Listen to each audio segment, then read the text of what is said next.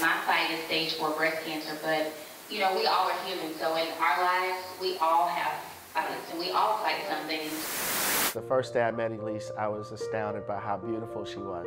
Elise was this incredibly beautiful, but also incredibly talented person who had tangible gifts like being able to sing and being able to dance, but also intrinsic qualities like love for people, discernment for folks and their character, and, and being able to see their needs. So Elise was my twin sister. Um, uh, I was born first, but I, am a minute early, or a minute older than she is. We have always been close when we were kids. Of course, you know, sisters. I miss, I miss our company. It's a huge void in our home, a huge void in uh, the kids and, in my life. Um, but I still have those memories of her that I can hold on to and, and think about and, and cherish, and, and, in a weird way find joy in thinking about the uh, memories that we shared. The thing that made me most proud of Elise, her ability to um, always see the good in things, no matter the situation.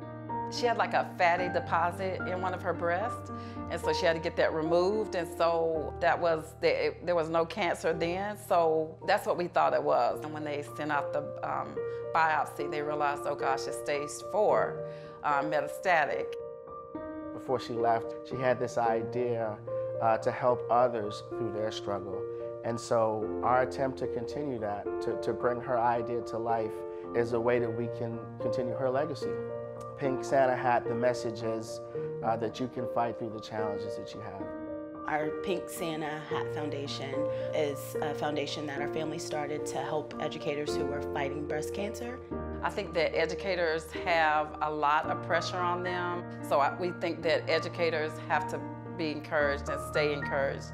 Educators were important to Elise because our family, we're pretty much full of educators. I'm an educator, my mom, my husband, uh, my brother-in-law, my sister, she was an educator, and education is just um, something that we believe in. And so we know how hard it is to be an educator and then you put a vicious disease on top of being an educator.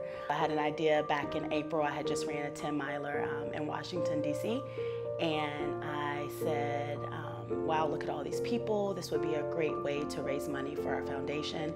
So I texted my mom and my sister and I said, you know, let's do a 5K. Uh, we have an event where we'll be bringing women uh, who are battling breast cancer to Atlanta. They'll actually uh, have a photo shoot. First of all, they'll get um, made up by makeup artist. Then uh, we'll have a photo shoot. Then they'll be able to go to the spa. Uh, we'll take them on a shopping spree. And then we end the night with a night of inspiration. Uh, and we actually have people who, women who have breast cancer, um, they'll be coming to give encouraging words as well. Elise's legacy is very important to us, and so it's important to us to um, encourage people because that's what Elise did. We want to um, encourage the world to, even though we know we have ups and downs, to just keep fighting on because that's really what she believed in. You can't sit and wallow in it. You can't wonder why me. Um, just continue to live life without regret. If you want to take a trip, take a trip. If you want to, um, you know, buy an expensive purse, buy an expensive purse. Enjoy life while you're still here. She was just such so strong and such a fighter. It really like made her want to encourage people more. It made her um, be closer to the Lord. Like she always said, God, I know you have a plan for my life. I don't know what it is, but I'm gonna still serve you.